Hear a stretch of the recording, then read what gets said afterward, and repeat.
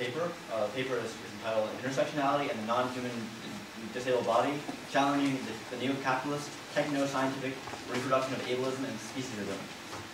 Um, so, uh, uh, at the beginning of, of my paper, I critique uh, uh, uh, a, a dis disability studies scholar by the name of Gregor Wolbring, who writes um, that uh, ableism leads to an ability-based an ability justified understanding of one's body and one's relationship with others of one's species and other species and one's environment. And I say essentially that Wolbring, Wolbring, uh, Wolbring's statement has, has, a lot of tension in, in it uh, because um, he assumes that ableisms are formative of speciesisms, and, and he does not say uh, the corollary, which, which, which is that speciesisms are formative of ableisms. Um, I didn't get right. Uh, um, uh, um, so uh, uh, what I analyzed in my paper uh, the Reflective Statement. If anyone's read it, uh, it's a it's a very very good uh, statement statement of intersectionality.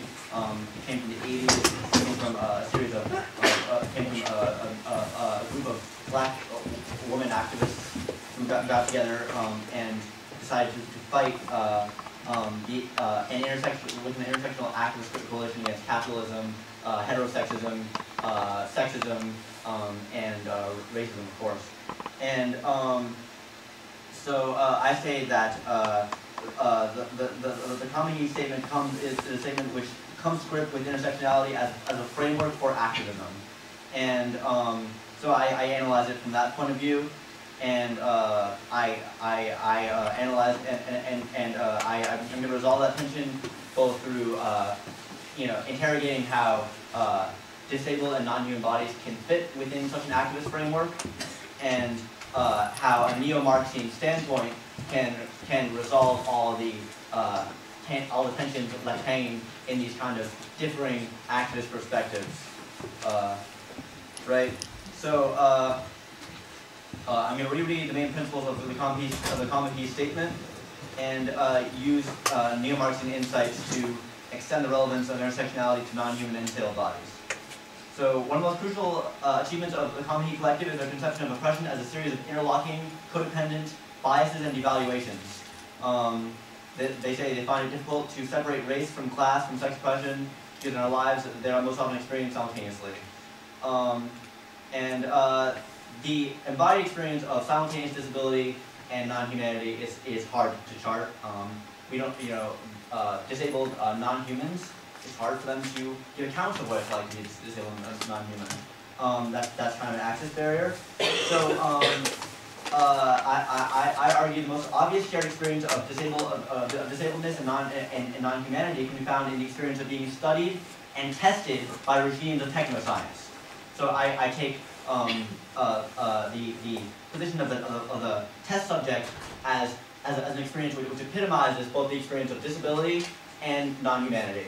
Um, and uh, uh and uh, I think that's a good, good start to being able to use both lenses together.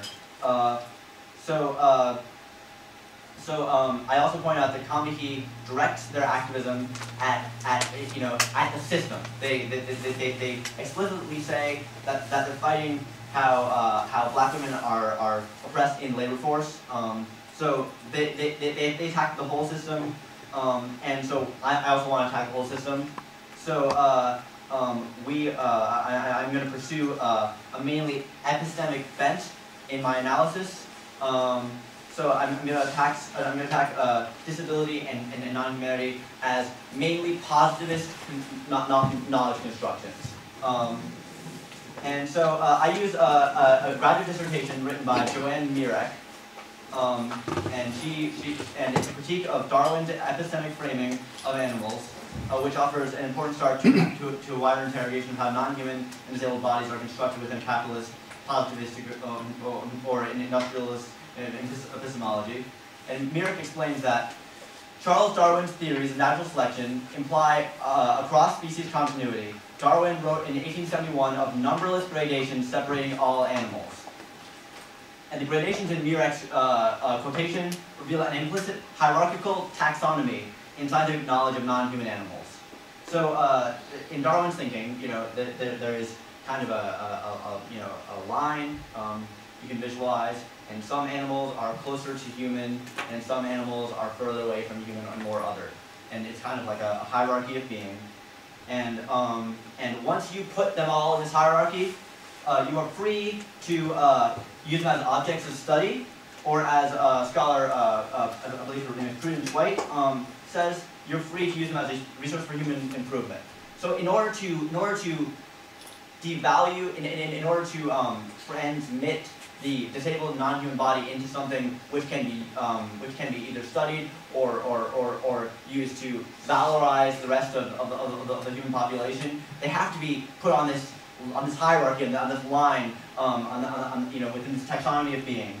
Um, and that's also very Foucaultian. Um, of course, it's very, very influenced by Foucault. It's, it's this way of thinking about uh, um, how, how disability and, and non-humanity are, are, are, are, thought of.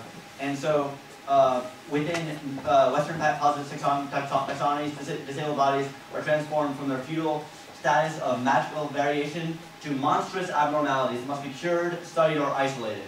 Um, so disabled bodies endure the same thing that non-human bodies endure. Um, they're transformed into uh, specks on a line, you know, sort of uh, uh, gradations on a line that have to be, you know, uh, sort of uh, uh, scienced by the um, materialist, techno-scientific, techno-scientific positivist apparatus in order to better the position of the, of the wider population. And there are some really good scholars um, in disability studies who actually engage race, gender, disability, and non-humanity. You should all read them. They, they, they write spectacularly. Their names are Soldatic and, and, and, and. Um, I have a quote from them. It's a Western anthropocentric perspectives of science deploy a natural hierarchy of species and no notion of subspecies. In this, species, in this hierarchy of species, humans are situated as superior to nature, but certain human beings are closer to nature than, than others. But the idea of subspecies conveys how human biology can be measured and layered into hierarchy of being.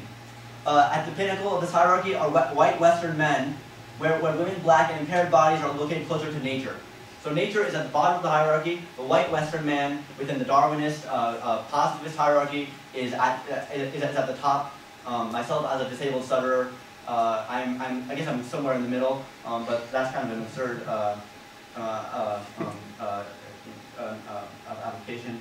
Um, so the gradations that Mirek reveal exist as, as rungs for, for, for, for, for Biyanwila and Soldatic hierarchy of being. And the whole purpose is explaining forms of life which confuse people. You know, uh, we don't know what these strange, you know, jellyfish things are that float in the water. We don't know what this guy is who kind of, you know, twitches his hand. We don't, we, we don't, we don't understand. So we need to put them in. We need to, to formalize them into the system in order to put them into a, an area of understanding.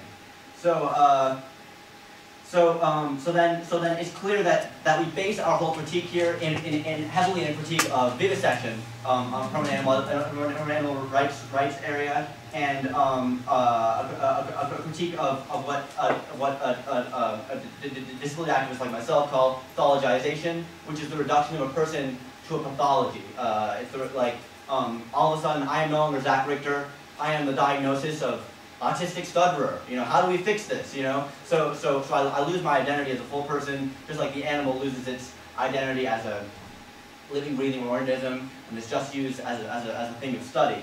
So it's that episodic process, like I, I, mentioned earlier, which is which is which is what allows factory farming to, to, to happen, which is what allows a lot of these problematic, violent um, uh, uh, uh, uh institutions to, to, to keep doing their thing, because uh, these bodies are not are, are, are, not seen as equally valid, you know, areas of experience, but are seen as you know weird oddities that need to be un understood and regulated by the scientific apparatus.